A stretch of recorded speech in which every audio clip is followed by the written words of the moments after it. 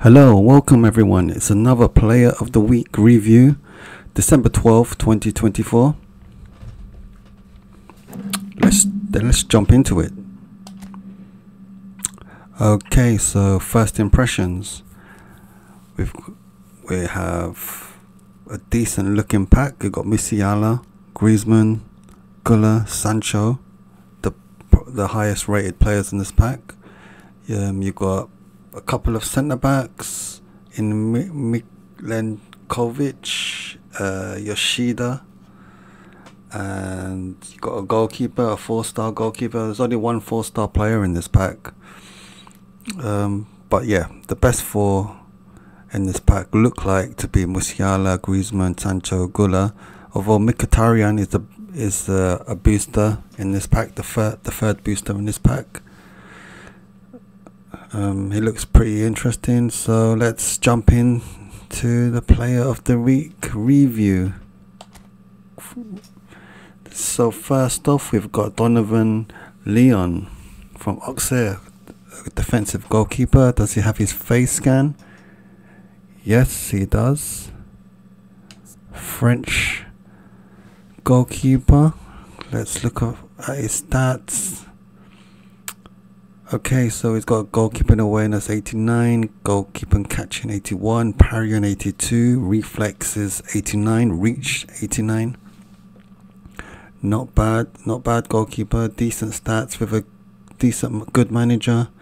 It'll, it'll go, some of those stats, those 89 stats will go into the 90s.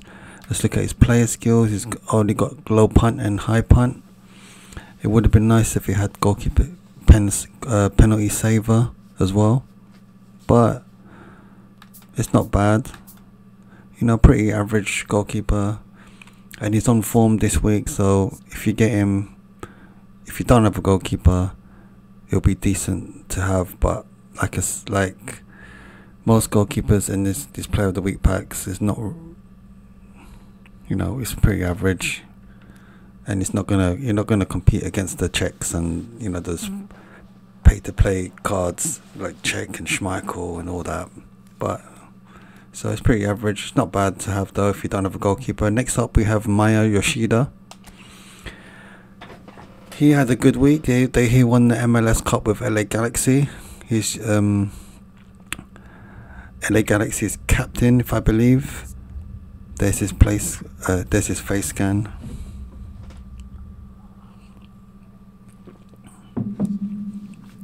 They won. They won two one in the in the MLS Cup. I haven't seen uh, the goals yet, but apparently he, he must have had a good game to be in this team of the week. Uh, let's have a look into his stats. Defensive awareness 90, tackling 88, aggression 85, defensive engagement 84. Um, it's not bad. I would have liked his aggression to be a bit higher because speed 75 and acceleration 72 is a bit low, but he is 36 now and he's got getting on a bit and he's probably in realistically in real life isn't that fast anyway. Jump 83, heading 80, physical contact 85, stamina 80. Uh, okay, he can only play centre back.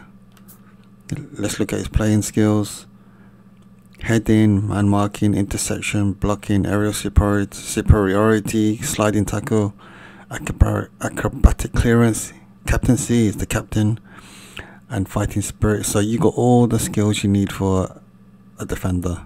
So skill wise, it's very good. Uh, stats wise, it's what you expect. Really, he's okay. Uh, I would have liked his jumping to be a bit higher um, and heading to be a bit higher to compete. If you're going to compete against the Gullits and the Van Bastens in this e-football world, but so he's he's pretty okay. Next up, we've got Gustav Isaksen. He doesn't have a face scan yet. You know, they gotta get that sorted. Konami, yeah, doesn't have a face. Um, yeah, he plays for Lazio. He scored the winner against Napoli last Sunday. I watched that match. He scored the goal on the counter attack. Let's have a look at his skills, um, his stats. He's a whole player, right midfielder. He can play left wing forward and right wing forward. His his dribbling stats are pretty good. Ball control 85, 80, dribbling 86, tight possession 83. But his main asset is his speed and acceleration. 89 speed, 91 acceleration. Yeah, I mean, apart from that, it's pretty average. Finishing only goes up to 78. Low passing only 72. So he's not that good. I mean, I mean, he's, he's okay. He's pretty average, really, for a winger. There's so many better wingers in this game. But let's look at his player skills. He's got double touch, great, and he's got a variety of other skills, which, which are very useful for a, a winger. He doesn't have pinpoint crossing, but that's fine. He's got through passing, which is um, pretty good as well, and super sub. Super sub is it so even if you might not get in your team to bring him off the bench, A form, Gustav, Isaksen will be very good. No face scan put puts me off a bit, but Konami should should make in the next update should put you know put his face. But yeah, it's okay. Next we got next up we have El Shaarawy from Roma. He's 32 now. Seems like he's been around for ages. There's his player face scan, deep line forward. He can play in a variety of positions in attack. He can play everywhere in attack, left wing, right wing, centre forward, support striker, left midfield, right midfield. And stats wise, um, he's pretty good, pretty good all round attacking player. Finishing is 83. Uh, again, speed and acceleration are his main strengths. Um, he's pretty okay. And skills, double touch, excellent. Long range shooting, long range curler, free passing, and another one of a super sub. So they may not start for your team. If you've got a great team already, they may not start, but you might want to try him as a super sub. Next, Mkhitaryan. He had a great game the other day for Inter Milan. I believe he's set up to. Well, actually, I did see the goals he set up to in Inter Milan's 3-1 win against Parma. He's 35 now. There's his player's face scan. He's been around for a while now. He's still going strong. He's one. Of, he's been one of uh, Inter's best players of, in recent weeks, and he's the first booster in this pack. So let's let's turn on the booster, see what it looks like, see what his stats look like. There you go. Lofted past 90 sticks out. Kicking power 89 sticks out. Finishing is only 74. I think our previous cards' his finishing has, has been a bit higher. But it looks like a very good card all round. Dribbling and passing. His dribbling and passing stats are pretty good. And look at where he can play. He can play everywhere. Everywhere apart from centre forward and defensive midfield. So he's a good all round attacking player. Uh, he's box to box. And yeah, he's got great stamina 87 with with a decent manager I'll probably go to 90 as well. Let's look at his skills, playing skills. Yep. He's, he's got a good variety of skills of passing, free passing, one touch passing, which is important. Low lofted pass. He doesn't have pinpoint crossing, but and he doesn't have double touch as well, which is disappointing. But yeah, I mean he's got interception as well, so he can he can play everywhere. I mean he'll be a good card to have. Next up, we got Martin de Roon from Atalanta. They beat AC Milan last Friday, two one. There's his player face scan. He was one of their best players in that match last week. Lookman scored the winner. But uh, yeah, here he is. 33 years old. He can play defensive midfield, centre midfield, and centre back. His player stats are pretty good all round as well. Nothing really stands out the most though. That's the thing. Um, stamina 88, but he's got good defensive stats, good uh, passing stats. I mean, he looks like a pretty good all rounder. Physical contact, he's got 84. It's not bad. So I mean, he doesn't look sp- anything special, exceptional in anything, but just a good all-round midfielder, defensive midfielder. Let's look at his player skills, and the player skills reflect his stats. He's a good, good all-round skills. One-touch passing, through passing. He's got intercepting, blocker, sliding tackle, captaincy, fighting spirit, track back, So it's a decent player, decent defensive midfielder. Next up, we've got Nikola Milenkovic, the Nottingham Forest centre back. Yes, he scored against United. Sadly for Man United fans, but for Nottingham Forest fans, he's he scored a great header from a corner. There's his face scan. Height 195 weight 92 he's a beast. Uh, let's have a closer look at his player stats. Yep. Defensive awareness 88 tackling 87 aggression 85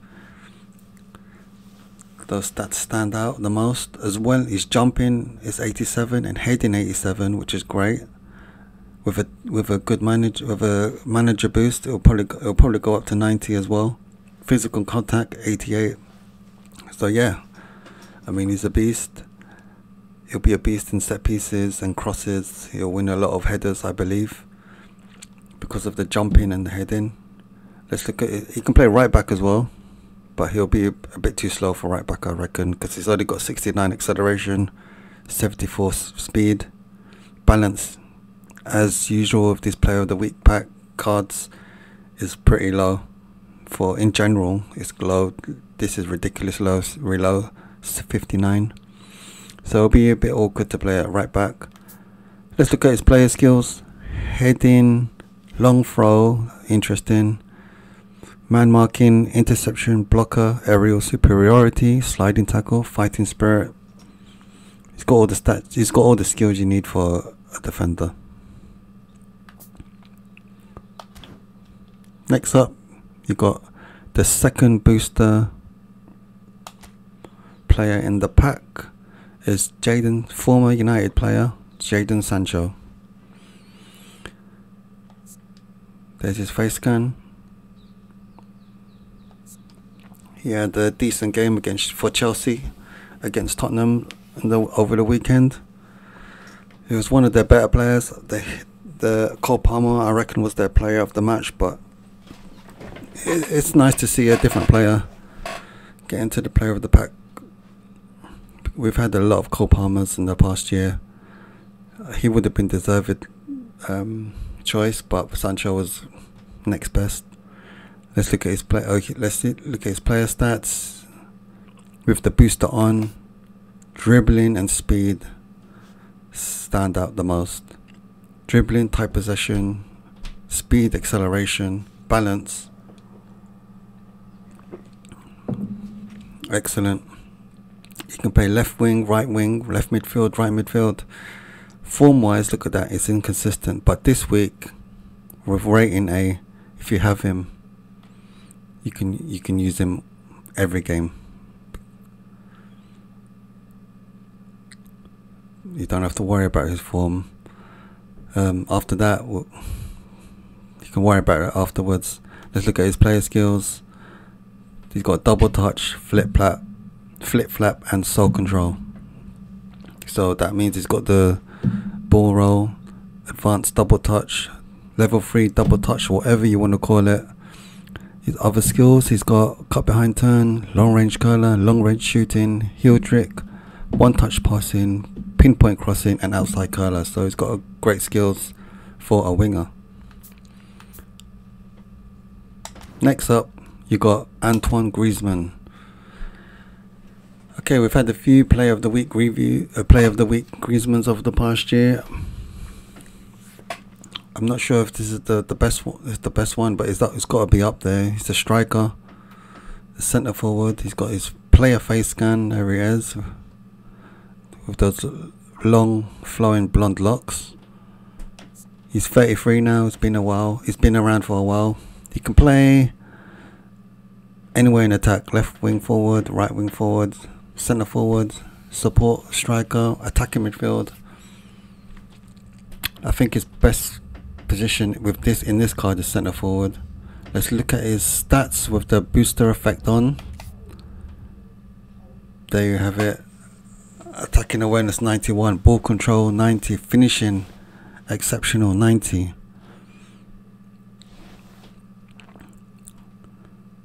So yeah, I mean he would be one of he'll he, personally he'll be one of my first picks in this pack if you get him try him out uh, let's look at his player skills. Double touch, rising shot, finish, acrobatic finishing, heel trick, first time shot, which is good for a striker. You need that first time shot, one touch passing, through passing, pinpoint crossing, outside curler, and track back.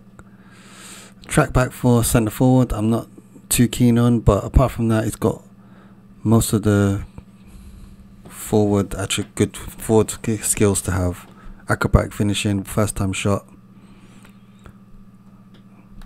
It's a must have. So yeah, there's the goal poacher Griezmann. Next up we have Real Madrid's Arda Güler. Oh yeah, Griezmann scored two goals over the weekend. The second one was, uh, I think it was an injury time winner. So yeah, he's well deserved to be in the Player of the Week pack this week. Next up, we got Arda Güler for Real Madrid.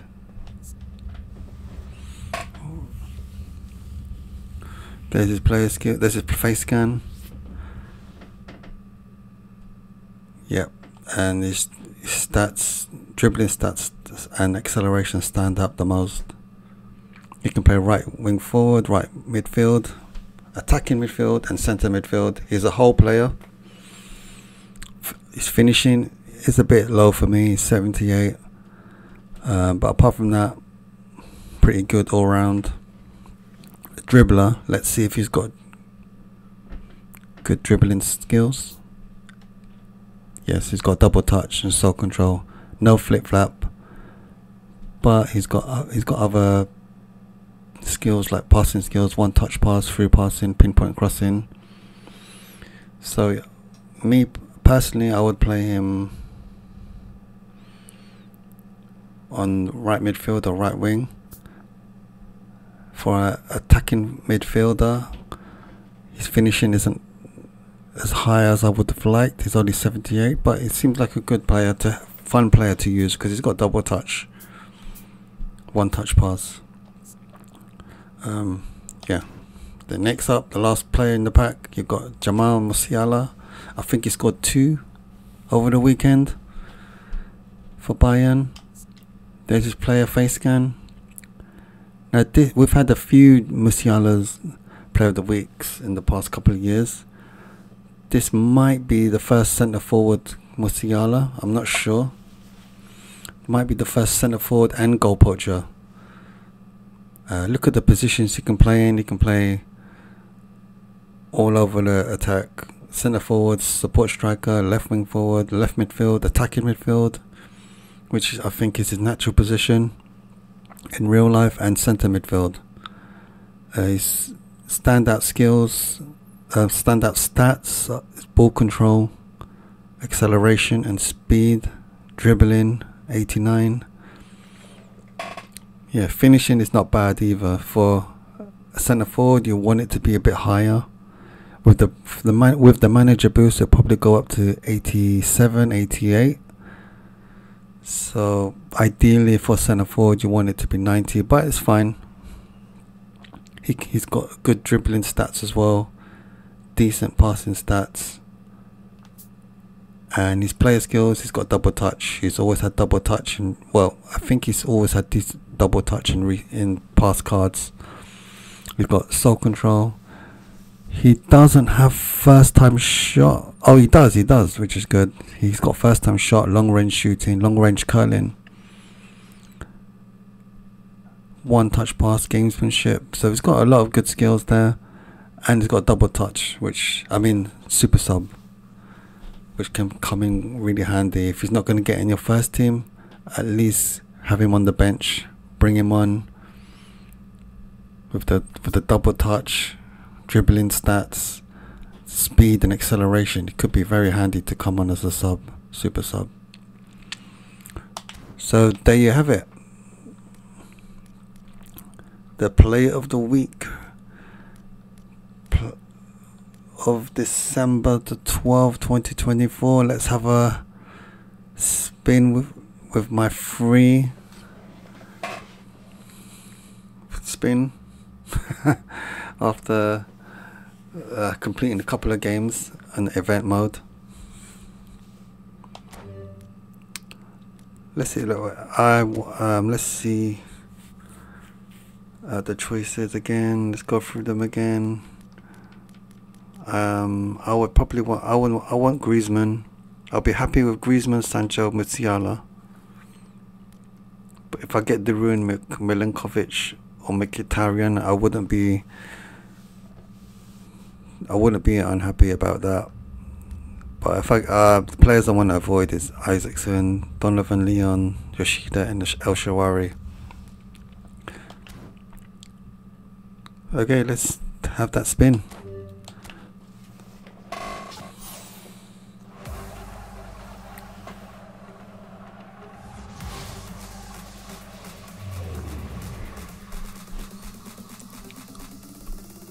Oh, it's Isaksen. Of course. Of course. Faceless Isaksen.